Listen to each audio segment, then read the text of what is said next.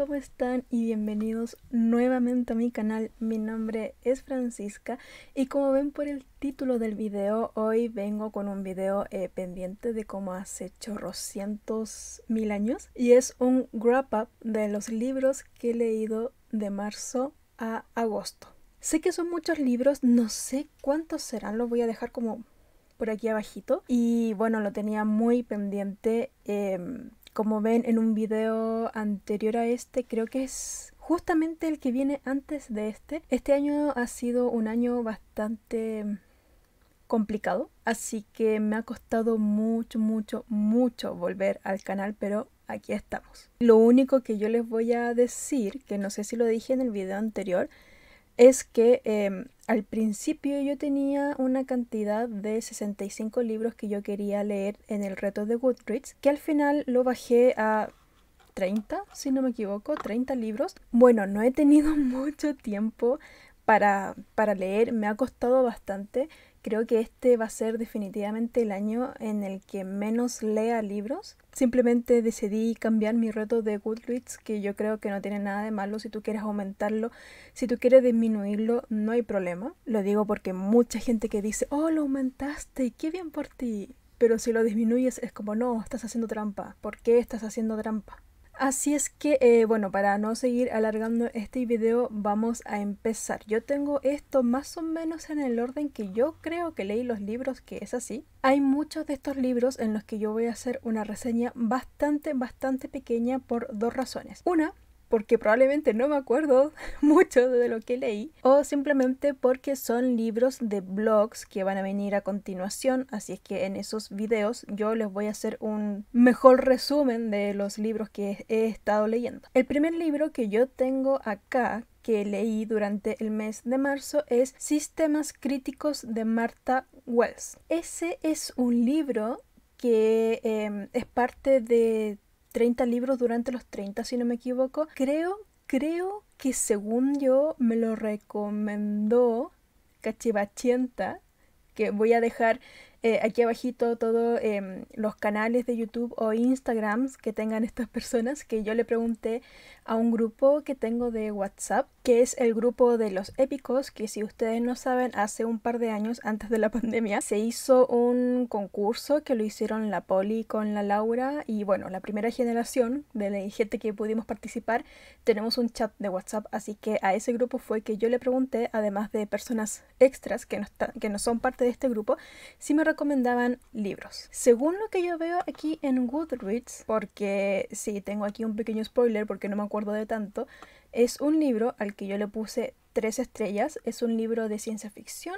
Me acuerdo que haber leído que sobre eh, una expedición que va a un planeta, ellos van, ven cómo está el planeta, ven los recursos que pueden tener, si el planeta es peligroso, si el planeta tiene em, qué tipo de hábitat, tanto animal como vegetal, y todas estas expediciones contratan a una empresa que tienen unos robots llamados SEG unidades. Esta historia está del punto de vista de esta SEG unidad, tiene conciencia, nadie lo sabe, este robot no ha querido decirle a nadie porque obviamente un robot que tenga conciencia podría ser considerado como peligroso. Y cuando llegan a este planeta se encuentran que la expedición que se encontraba desde antes eh, fueron todos asesinados. Lo que sí yo les quiero comentar de este libro es que es, como ya dije, de ciencia ficción, por eso yo estaba como un poco emocionada por leerlo porque es un género que me gusta bastante, pero sinceramente no me gustó tanto.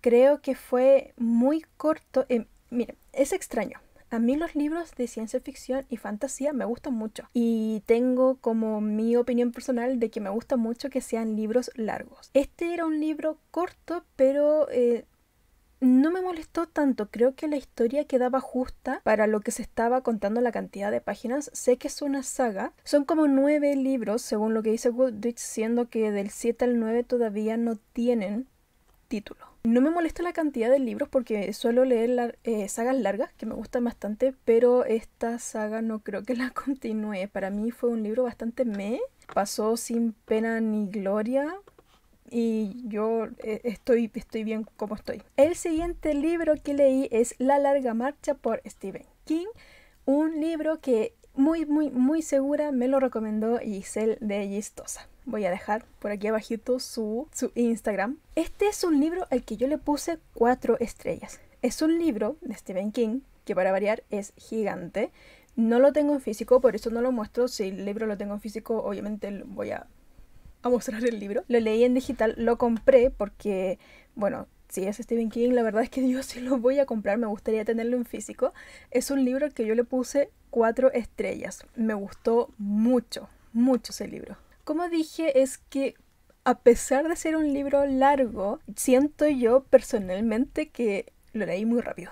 Fue un libro que me gustó mucho. Lo que ocurre, la trama principal de este libro es lo que indica el título, es La larga marcha, es un grupo de jóvenes que eh, tienen que caminar eternamente, van muriendo en el camino. Si tú ellos tienen tres avisos, ahora que me acuerdo. Bueno, están caminando eternamente, en un momento eh, alguien se puede cansar. Al tercer aviso, si tú paras y no sigues caminando, eh, están estos como militares que te, te, matan. Se supone que el premio es un premio gigante, es fama, es dinero y es no es contra tu voluntad. Si tú quieres eh, ingresar a la larga marcha, lo puedes hacer. Eh, son todos esos sí adolescentes, si no me equivoco. No creo que es una regla que a cierta edad tú puedes participar. Y bueno, esta larga marcha no me acuerdo cuánto dura, pero es, es un libro de 30 libros durante los 30. No voy a decir mucho. Es un libro que yo sí recomiendo demasiado. Es muy es, o sea, para el sufrimiento que tú lees es muy, es muy entretenido lo que cuenta el protagonista, cómo vas conociendo la vida de los demás personajes, la motivación que ellos tienen de participar en la larga marcha y eso, es lo único que les puedo comentar, pero de verdad es un libro que me gusta mucho, esperen el blog de 30 libros durante los 30 donde voy a hacer un resumen mucho mejor de lo que yo acabo de hacer sobre este libro. El siguiente libro que leí es Las cenizas del juramento por Joseph Michael Brennan, otro libro de 30 libros durante los 30 que me recomendó la Pau. Eh, ella sí tiene un canal de YouTube, así que además de su Instagram voy a poner aquí abajito su eh, canal de YouTube. Ella siempre está súper activa, hace videos muy buenos, así que si la pueden seguir sería genial. Este es un libro de fantasía, es un autor chileno y es un libro que le puse tres estrellas porque al igual que sistemas críticos pasó sin pena ni gloria.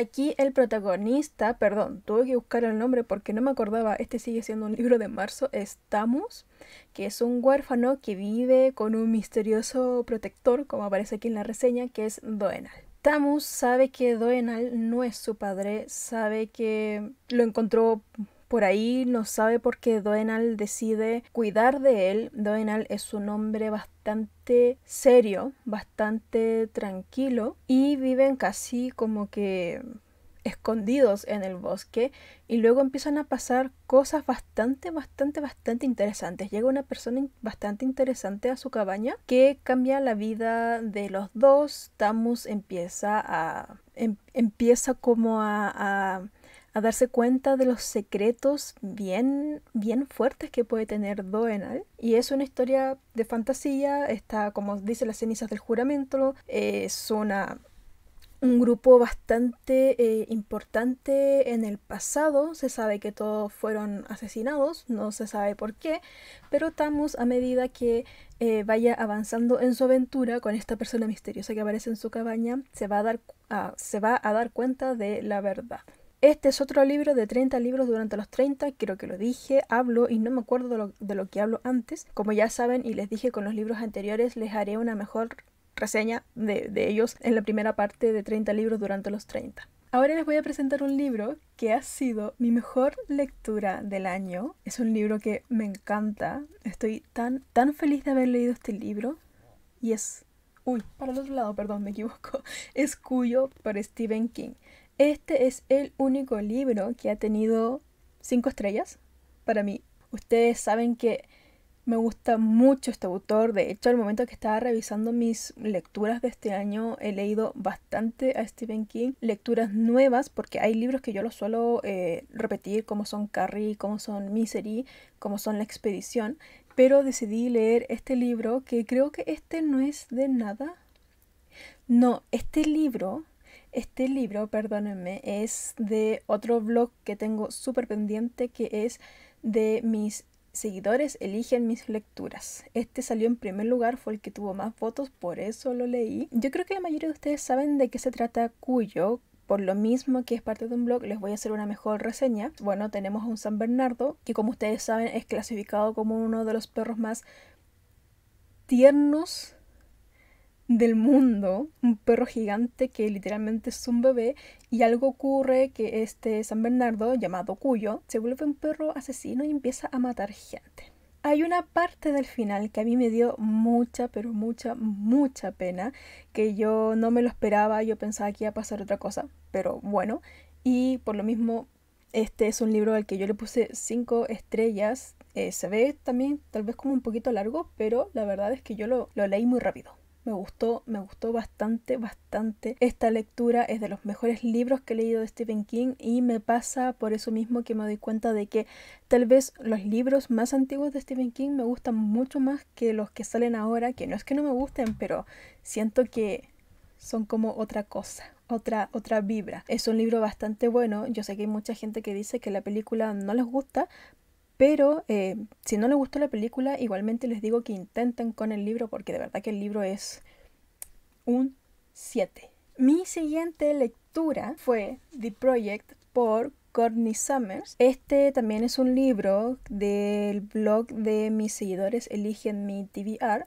Este salió en tercer lugar. Entre medio hay dos libros en, en digital porque bueno, no quise leer en digital en ese momento, tenía muchas ganas de leer en, papel, que es algo que me está pasando mucho ahora. Así que decidí tomar este libro al que yo le puse tres estrellas. Yo este libro lo compré porque em, yo leí Sadie antes de del estallido social que pasó en Chile y de la pandemia y fue un libro que me gustó mucho, fue un libro que me dio mucha pena, me hizo llorar. Yo, yo soy muy buena para llorar, pero los libros es muy difícil que un libro me haga llorar y por eso mismo compré este y para mí este fue un libro un poco me y un poco what the fuck. Este libro trata sobre dos hermanas que viven una tragedia familiar. Una de estas hermanas eh, queda completamente sola, casi que tirada en el mundo, y la otra se une a un culto llamado The Project. Esta hermana menor, que es la que yo les digo que queda sola, quiere buscar a su hermana mayor porque ella no entiende qué fue lo que pasó para que ella terminara metida en ese culto. Ella quiere volver a ver a su hermana. Ella trata de ser periodista y busca la mejor forma para poder juntarse con ella y casi que salvarla y sacarla de este culto horrible en la que ella decidió meterse. Este es un libro de otro blog, Perdónenme que este wrap-up sea así, pero es que no quiero dar tantos detalles si finalmente en los vlogs se los voy a decir. Pero este es un libro que para, para mí, eh, bueno, Sadie, si ustedes no saben, también es una relación entre hermanas. Y perdón que la cámara se mueva tanto, no he podido arreglar el tema del, del foco, que hace que la cámara como que se mueva a cada rato. Y yo pensé que tal vez Tal vez sí fue error mío pensar que iba a encontrar, que iba a sentir lo mismo que leí con Sadie, pero no fue así. Aquí ocurren muchas cosas que nosotros sabemos que pasan eh, o que no sabemos que pasan en los cultos, que es muy what con el, con el típico líder del culto que se cree de Dios, que son cosas que a mí me molestan bastante. Yo creo que tal vez por eso igual como que me afectó un poco que el libro no, no me gustara tanto porque a mí el tema de los cultos lo encuentro una estupidez gigante. Prefiero mil veces eh, releer Sadie. Y además que esta tapa me gusta mucho, pero es como de ese tipo de, de, de tapa que, en que los dedos quedan marcados y me, me, eso me como que me perturba un poco. Sí debo decir que hubo un capítulo específico de este libro que me dio bastante pena. Fue bastante triste, pero fue el momento único en el que yo me emocioné. Me pasó que la sinopsis que aparece atrás de este libro no me coincide con lo que yo leí. El contenido del libro no me coincide la sinopsis. No sé por qué. No sé si a alguien más le habrá pasado eso. Si les pasó, me, lo comentan aquí abajo, pero de verdad para mí fue como que yo leía el libro, leía la sinopsis y era como que no... Son, son historias un poquito distintas no sé si yo estaré loca. Nunca, jamás en la vida me había pasado algo así. Uy, ya llevamos 1, 2, 3, 4, 5, 5 reseñas. Algún día terminaré. El siguiente libro que leí, del que yo les tengo que hacer un video especial, que no, de hecho ya salió la reseña de este video, así que lo voy a dejar acá abajo en la cajita de la descripción, es Cuervo de Cuarzo, que ahí se ve bien, de Tamin Ras Cartes. Por favor, si el autor de este libro está leyendo, o sea, está viendo este video y, mencioné mal tu nombre, discúlpame. Esta es una autora chilena que escribió un libro de fantasía que la editorial Miostosis me contactó en junio. Primero pido disculpas por el atraso de, la reseña, pero ya, ya está en el, en el canal. Por lo que veo va a ser una saga porque este libro es la primera parte de las alas del reino. Uno. Este es un libro que, ¿saben qué? A diferencia de las cenizas del juramento, si saliera una segunda parte, yo sí la leería quedé con muchas más ganas de leer este libro que el otro. Pero ok, aquí tenemos la perspectiva de cuatro personajes. Tenemos primero a Elaine y Bo. Estos son dos amigos de la infancia que viven en la parte pobre de un reino. Como siempre un reino tiene su parte de gente rica y la gente pobre que se muere de hambre. Ellos son parte de una rebelión que lo único que les dijeron que deben infiltrarse en el castillo para una misión que ellos ni siquiera saben. No, o sea, esta gente no tuvo la decencia de, de decirles para qué van a ir al castillo. Ellos saben que van a una misión, pero no les dicen nada y lo aceptan. Bo no lo acepta porque ella en un momento llega a pensar como ¿por qué, no nos ¿por qué tanto secretismo y no nos dicen qué es lo que está pasando? Y Lane es como que no, es que eh, seamos, somos fieles a este, a este grupo y yo estoy de acuerdo con que no me... No, yo en, en, ese sentido estoy de parte de Bo, que no puede, no puede ser que ir a lo loco ir sin saber qué está pasando, porque bueno, yo soy una persona que no me gusta no saber lo que está pasando, así que en ese sentido a ella la entiendo. Ellos van, eh, bueno, se supone que eh, van infiltrados, se casan y trabajan en el castillo. Obviamente es un matrimonio falso porque ellos son amigos, no se gustan. Y en el castillo ellos conocen a la princesa y a su sirvienta. La princesa Viana y su sirvienta Lily. No les voy a decir mucho más lo que está pasando, bueno, Viana está en el típico proceso de que se tiene que comprometer, entonces viene gente de otro reino y ella tiene que ver qué está pasando y ella acepta que es una princesa, que tiene que hacer lo que le tienen que, o sea, lo que le dicen que tiene que hacer porque esa es su función. Lily es su sirvienta, es la que más ha durado con ella,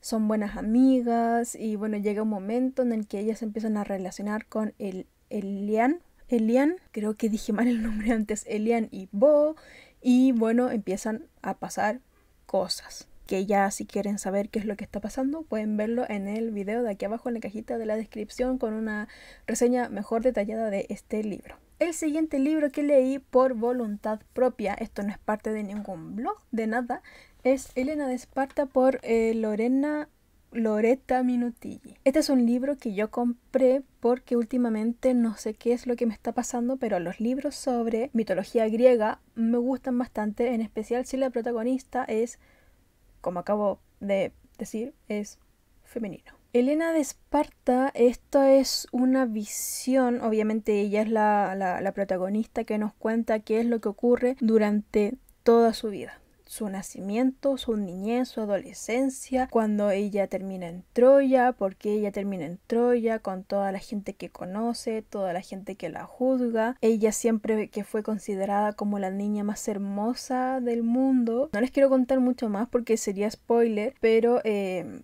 es muy interesante conocer, eh, según lo que cuenta aquí la autora, la perspectiva de Elena de Esparta, porque ¿saben qué es lo que me pasa? Que cuando hay muchos libros y la mitología griega en general siempre lo vemos del punto de vista de los hombres. Y eso a mí no me parece. Los hombres son que, que los héroes, que los dioses, que son que somos geniales. Eh, y perdónenme, pero en mi opinión personal, los héroes de la mitología griega suelen ser mierdas. Perdonen por la palabra. No sé si YouTube me va a censurar, pero suelen ser buenas mierdas de persona, al igual que los dioses. No digo que las mujeres no lo sean, pero las mujeres también, aunque a mucha gente no le guste, toman mucho protagonismo y al mismo tiempo son muy castigadas por cosas que hacen los hombres. Esto es algo que, eh, al igual que cuando yo les reseñé Ariadne, pasa aquí en Elena de Troya, cómo es que ella, cómo es que ella es considerada un, un objeto para todos los demás, que los demás hacen lo que ella quiera, como ella trata de, aprender a, a, manipular a los hombres, tratando de usar su belleza como a favor, pero es muy difícil, es muy difícil para ella porque ella puede aprender todos los trucos de la existencia para aprender a manipular a los hombres, pero aún así ella es una mujer muy insegura. Ella es una mujer que lo pasó muy mal. Es un libro bastante corto, por eso no digo mucho. Es un libro al que yo le puse, eh, según lo que aparece aquí, cuatro estrellas. Me gustó bastante. Es un libro que se lee bastante rápido. Menciona mucho la estupidez humana. Y es un libro que yo sí recomiendo bastante. Porque aquí van a ver que Paris de Troya no es el hermoso ser que, que ustedes ven en la película de Troya que es Orlando Bloom, que ellos estaban enamorados aquí vemos otra perspectiva de, de, de, Elena, no tanto como la historia de amor que ustedes piensan que provocó una guerra. El siguiente libro que leí es Desayuno en Tiffany's por Truman Capote. Es un libro que esto es de un blog. Creo que este libro es de 30 libros durante los 30 y me lo recomendó la Pau. Eso sí, estoy muy muy segura, creo que es de ese blog. Y me pasa que este libro es un gran clásico de la literatura que todos dicen léelo, es muy bueno, pero a mí no me gustó tanto. De hecho le puse tres estrellas, que yo tal vez le daría un poquito menos, no a las dos estrellas, pero un poquito menos. Truman Capote siempre es un autor que recomiendo mucho leer, pero... Eh, ok. La protagonista aquí es Holly, que encuentro que es la mujer más desesperante de la vida. A mí Holly no me cae bien. Yo sé que hay mucha gente que dice que, oh no, es que Holly es una mujer empoderada, porque lo vi en las reseñas, por eso lo digo, que hace lo que quiere, lo que le da la gana. Y yo creo que sinceramente Holly es una pobre mujer perdida en el mundo. Ella no lo ha pasado bien y como nos comentan en un momento sobre su, su historia, Holly es una chica que es como que es como súper linda y que logra que todos los hombres hagan lo que ella quiere, que ella no, no, no vive en el compromiso, ella hace lo que quiera con lo que le da la gana con las demás personas, los controla, es súper manipuladora. Yo no creo que ella, a diferencia de, de, las demás reseñas que yo leí, que ella tenga un, un, empoderamiento femenino, porque empoderar, porque el empoderamiento femenino no significa, eh, no es igual a manipulación. Y ella es muy manipuladora y yo creo que es una pobre mujer. Truman Capote la, la describe como una mujer muy sensual, casi a lo Marilyn Monroe, pero nada, nadie supera a, a Marilyn Monroe. No me da muchas ganas de reseñar este este libro, pero ok, sí, leí Desayuno en Tiffany's, perdóname Pau, pero este libro para mí, esta es una mujer desesperante, pobre mujer. Luego no leí, sino que escuché el audiolibro de The Sandman por Neil Gaiman. Y debo decir que qué audiolibro tan bueno. Yo le puse cuatro estrellas porque, eh, bueno, al principio me llamó mucho la atención este audiolibro. Tiene un cast de actores, pero espectacular espectacular. O sea, si ustedes ven los, actores que son parte de este audiolibro, es maravilloso. Es un audiolibro que me gustó mucho. El principio, como te presentan este libro, es maravilloso. Se nota, se nota el presupuesto. Se nota la cantidad de plata que gastaron en, en, este audiolibro. Pero me pasó que, bueno, que al principio me emocioné mucho con este audiolibro. Me llamó mucho la atención. Pero a medida que iba avanzando, yo creo que me fui aburriendo un poco. The Sandman tenemos, bueno, si ustedes no lo conocen, es como un ser mitológico del que controla los sueños. Estuvo desaparecido por un tiempo, no voy a decir por qué. Y él, bueno, se encuentra, eh, él nos, nos muestran bastantes historias en las que él aparece, por algún motivo. Hay un objeto que pierde, que no les voy a decir que que, es, porque si no sería hasta como contándoles la historia. Hay una gran cantidad de personajes gigantesca. Yo dentro de mi ignorancia eh, no sabía que esto estaba en el dentro del mundo de DC. The Sandman no es un, un ser mitológico eh, exclusivo de DC. De hecho, existe de, mucho antes. Neil Gaiman lo incluyó dentro de este mundo, entonces escuchamos muchas menciones de Ciudad Gótica, que por eso que yo en un momento lo escuché y dije, ¿qué Ciudad Gótica? Se menciona a la Liga de la Justicia, que de verdad yo dije, ok, miré la portada del audiolibro y dije, ay, sí, esto es de DC. Como les dije, hay una gran cantidad de personajes. Eh, eso sí me pasó mucho que si ustedes me piden mencionar a todos los personajes que son de, este, de esta historia, yo no me voy a acordar, pero sí recuerdo mucho voces de personajes. Hay muchas voces, muchas interpretaciones que me marcaron bastante. Tenemos, eh, a pesar de que hay varias historias que aparecen eh, a través de muchos años, como por ejemplo hay un momento en el que aparece William Shakespeare con la obra em, Sueño de una noche de verano. Llega un momento en el que una historia eh, se establece y Lord eh, Morfeo, que así es como se llama el personaje, que no me acordaba cómo se llamaba, tiene que buscar la forma de resolver este, este problema. Pero si yo les recomiendo que que escuchen este audiolibro lo recomiendo bastante. Porque, por ejemplo, mire, estaba buscando porque no me acordaba bien de, de los nombres de los, de, los, de los actores, pero por ejemplo, James McAvoy, de la voz de mm, Lord Morfeo, The Sandman. Está este actor que no me acuerdo cómo se llama, perdónenme, pero el que hace de la voz de Gollum también aparece aquí.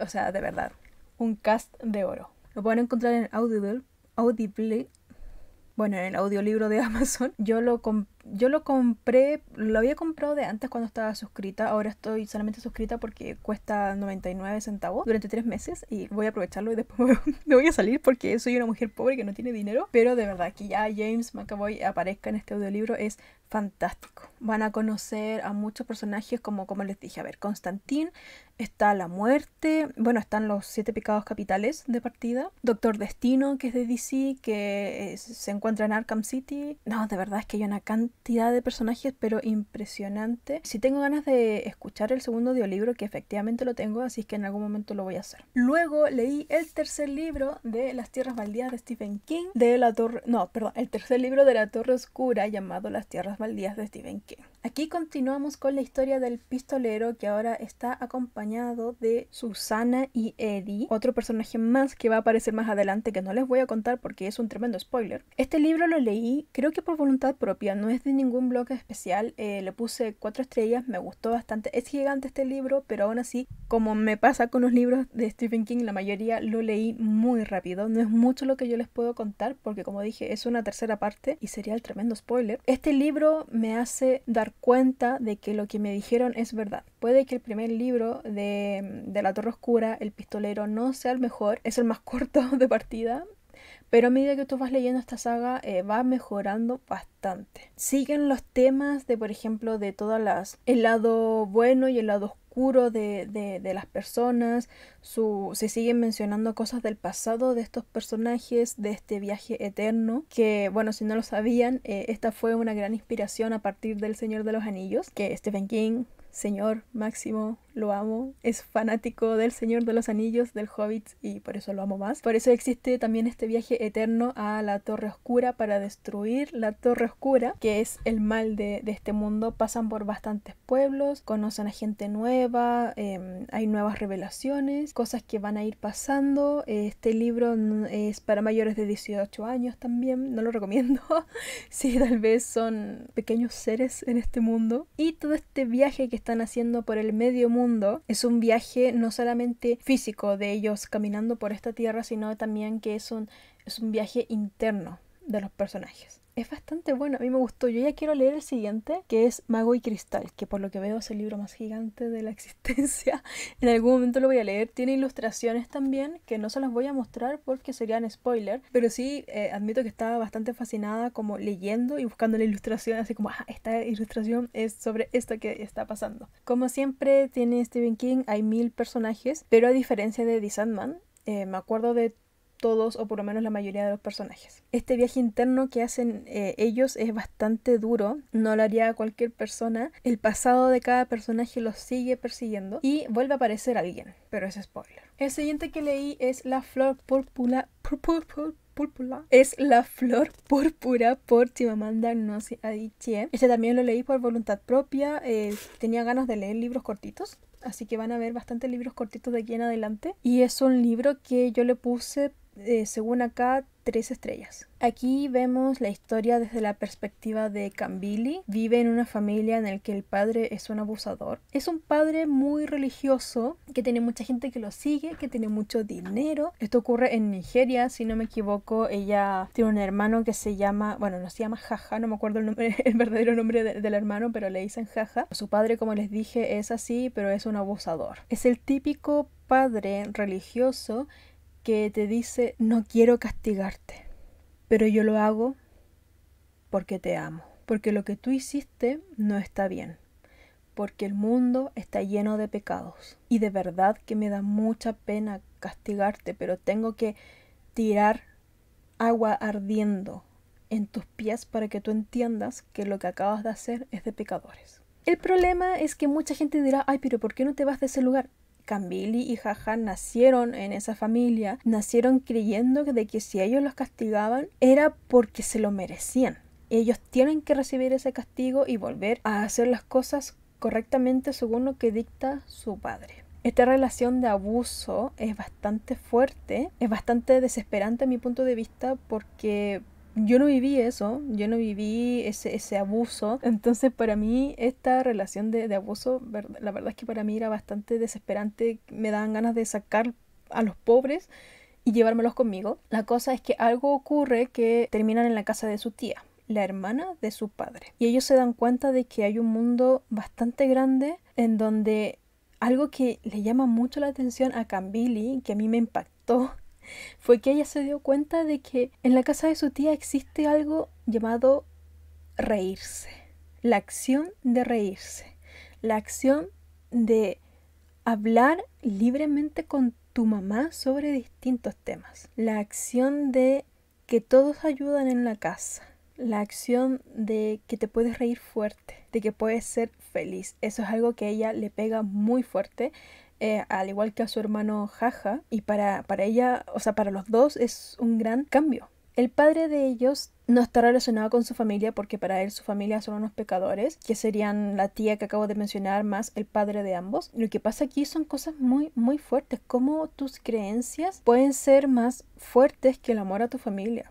Para mí, mi familia es lo más importante. Más importante que mi trabajo, más importante que mis creencias. Pero aquí existe el abandono de tu familia porque ellos no creen lo que tú crees. Él trata de imponerse ante su familia y su hermana le dice, no, o sea, yo no yo no puedo, tú no me puedes obligar a que yo crea en lo que tú crees. Eso es nomás lo que yo les voy a decir del libro. Yo recomendaría que si lo leyeran. Es un libro que yo creo que es importante, que pasa mucho en las familias actualmente, la relación entre estos cuatro miembros de la familia que también, bueno, tienen una madre que no le he mencionado, el abuso del padre hacia su esposa y sus hijos Cambili y Jaja. Prepárense para sentir mucha rabia porque a mí este libro me dio bastante rabia. Luego leí The Girl Who Stole the Queen's Eyes por Marilisa Loxton. Este es un libro que yo tenía pendiente de NetGalley. Voy a hacer un blog leyendo todos los libros pendientes que tengo de, de NetGalley, que es una vergüenza. Y es un libro que no me gustó. Yo le puse dos estrellas. No, me gustó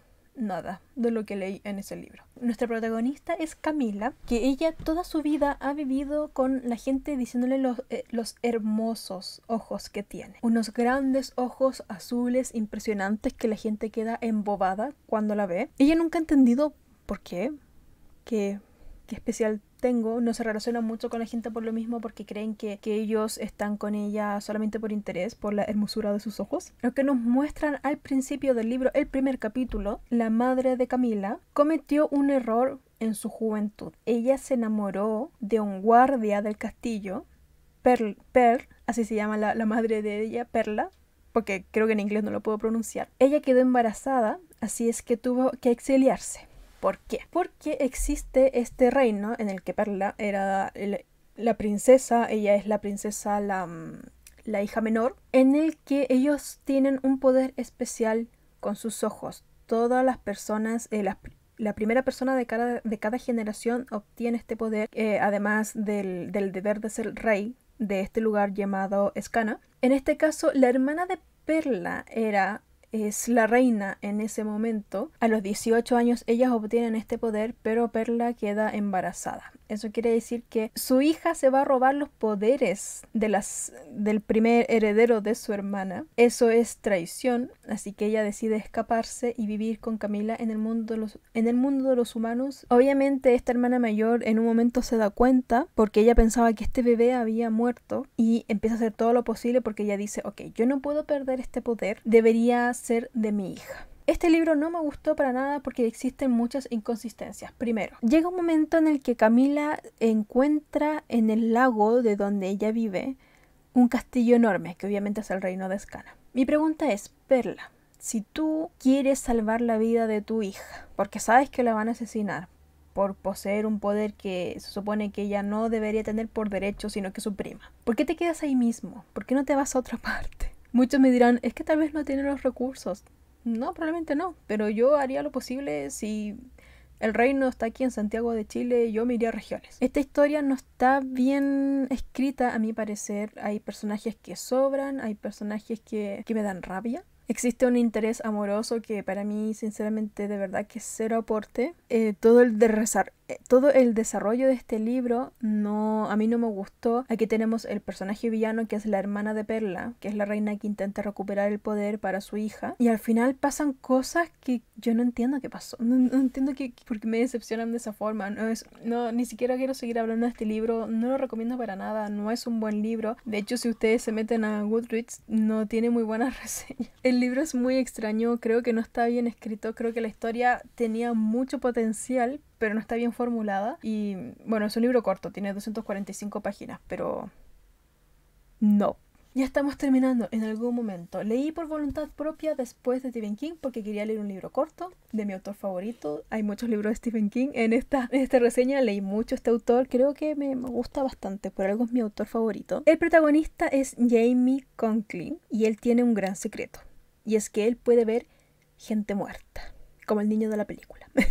la diferencia es que él lo ve por un par de días. Él ve el espíritu en, el, en, el, estado, con, me refiero a la ropa, con la que murió esta persona. Si esta persona, por ejemplo, no sé, le dispararon en la cabeza, él va a ver el hoyo que, la persona tiene en la cabeza. Pero solamente lo ve por un par de días. Él menciona que mm, los fantasmas no se demoran más de una semana en, en irse y él puede hablar con ellos. Su mamá sabe de esto, le costó creer que su hijo podía hablar con fantasmas, pero lo hace. Y empieza a haber problemas porque obviamente él siendo un niño de creo que tenía 6 años, ver a una persona con la cabeza reventada no es una muy bonita imagen. Obviamente lo va a traumar. A medida que va pasando esta historia, vamos viendo la vida de, eh, bueno, que él crece. Ellos viven una crisis económica súper fuerte en la que la madre, no voy a contar mucho, la madre logra salir gracias a la ayuda de un fantasma. Empiezan los problemas cuando la polola de su madre se da cuenta de que parece que sí es verdad que este niñito puede ver fantasmas. Como dije, el libro es muy corto, no puedo contar mucho más, creo que es un libro que está bien escrito, es un libro que me dejó impactada de muchas formas, es un libro que sale aquí que yo le puse, le puse tres estrellas. ¿Por qué le puse tres estrellas? Estoy diciendo que el libro me gustó. Es que me gustó, pero creo que tal vez sí le faltó un poco más al libro me hubiese gustado que fuese más largo. A mí me gustan los libros largos. Es un gran problema que yo tengo. Pero es un libro que yo sí recomiendo. De los últimos que sacó Stephen King. No me acuerdo qué año fue. Pero sí salió. ¿Salió? Salió durante la pandemia. El 2021. ¡Ay, esta es primera edición! ¡Qué hermoso! Es un libro del 2000. Es del año pasado. Eh, para que vean que estoy un poco perdida. Es un libro que salió el año pasado que a mí sí me gustó bastante. Creo que sí es de esos libros que yo recomendaría como primera lectura del autor si tú quieres empezar a leerlo, ya que eh, es un libro corto, es un libro no tan complicado en el tema del, de, la redacción, porque Stephen King tiene libros que se nota que, que, son un poco difíciles y son un poco pesados de leer. Yo lo encuentro básico, es un libro que es, em, ¿cómo se llama esto? Em, es un libro, no es único, es es un libro autoconclusivo, esa es la palabra, y tiene la esencia de Stephen King al 100%. Yo podría leer esto sin saber que es de él y, pensar, uh, esto parece un libro de Stephen King. Luego leí un cómic, gracias a Ned Galley, quien me lo otorgó, llamado Everything is Okay por David Tank. Es un libro que yo le puse cuatro estrellas. Es un libro que nos habla sobre un tema tan importante como lo es la depresión y la ansiedad. Yo les voy a decir que yo no yo no tengo depresión, o sea, nunca me he diagnosticado, pero estoy segura que no tengo depresión, pero sí soy una persona que sufre mucho de ansiedad. Yo soy muy, muy ansiosa, creo que lo he, lo he mencionado en algún momento. Y hay muchas ilustraciones que cuenta, bueno, nuestra, nuestra protagonista, con las que yo me sentí súper, súper identificada. Muchos sentimientos, situaciones, sensaciones que yo miraba y era como, sí, yo sé cómo tú te sientes. Habla de muchas cosas por lo menos porque la ansiedad es un tema muy grande, no es como solamente ansiedad social. Habla sobre, por ejemplo, eh, que yo me acuerdo en este momento que que yo me sentí muy identificada, lo que es, por ejemplo, el síndrome del impostor. El síndrome del impostor es cuando tú haces tu trabajo, como por ejemplo yo grabar este video y pensar que tal vez yo le estoy copiando la idea a otra persona, que mi trabajo no vale la pena, no soy una persona original. Ese es como el, el, resumen. Yo, a mí me pasa mucho el síndrome del impostor. Es un tema bastante delicado. Es un tema que uno tiene que trabajar. Habla mucho de lo que es también, por ejemplo, trabajar en un lugar en el que a ti no te gusta y cómo eso te causa ansiedad. Habla mucho de cómo ella se siente insegura con su trabajo porque cree que no es lo suficientemente bueno, que la gente no la va a tomar en cuenta, que la van a insultar y que ella tal vez no debería ser parte de, de, este mundo. Ella, eh, bueno, nos muestran en, las ilustraciones que tiene una pareja que la apoya mucho, cosa que no todas las personas con depresión o con ansiedad o con ambas cosas, porque son cosas bastante distintas, tienen. Yo agradezco que sí tengo una pareja y tengo una familia que me apoya mucho. Entonces, eh, no les quiero contar mucho más de, de, esta novela gráfica porque es, es muy buena. A mí me gustó bastante leerla, es corta, pero yo decidí tomarme el tiempo de leerla poco a poco. Creo que es una gran es una gran historieta, un gran cómic, novela gráfica, perdón si digo mal la palabra. Voy a buscar en mi teléfono porque estoy segura que hay muchas cosas. Eh, no les voy a mostrar las, las, ilustraciones porque creo que deberían leerlo, pero sí, por ejemplo, aquí lo que yo estoy viendo es algo que me pasa mucho, el no sentirse productiva, el la productividad tóxica. Es un término que yo escuché porque empecé mucho a seguir a, a, personas que hablaban sobre, sobre, la productividad. Hay muchos de ellos que yo lo, los dejé de seguir porque manifestaban mucho lo que es la produ productividad tóxica. Si no eres productivo, no vales la pena. Y eso no es así. Muchas veces hay que descansar. Yo aprendí a la mala, que se los voy a mencionar es otro video que tengo una idea para hacer. Tienes que aprender a descansar. ¿Y cómo es posible que tú tengas que aprender a descansar? Lean esa, esa novela gráfica, yo la recomiendo mucho. Se van a sentir muy, muy, muy identificados. Yo le puse cuatro estrellas,